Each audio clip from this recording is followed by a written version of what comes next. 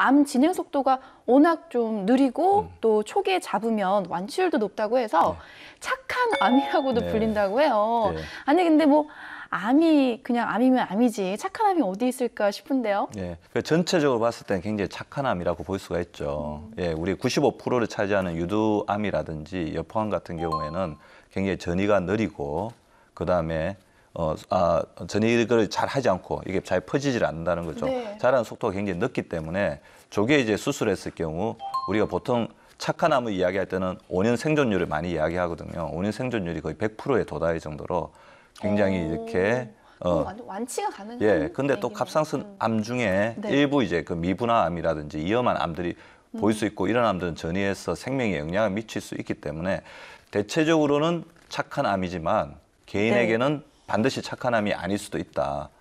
그래서 갑상선암에 걸렸을 때는 본인이 뭐 지레 짐작해서 착한 암이니까 안심해도 되겠지 그렇게 생각하지 마시고 반드시 갑상선암 전문의와 상의해서 자기의 조직형이 어떻게 되고 자라는 속도가 어떻게 되고 전이가 어떻게 되는지 잘 살펴봐가지고 그런 부분에 대해서 적절한 조치를 받는 것이 자신의 건강을 지키는 가장 중요한 방책입니다.